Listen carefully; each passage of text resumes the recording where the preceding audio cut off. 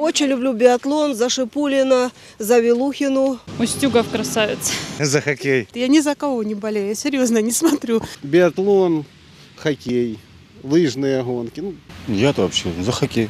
Фигурное катание. За конькобежцев. Больше всего мне нравятся, конечно, танцы и фигурное катание. Биатлон. Устюгов красавец.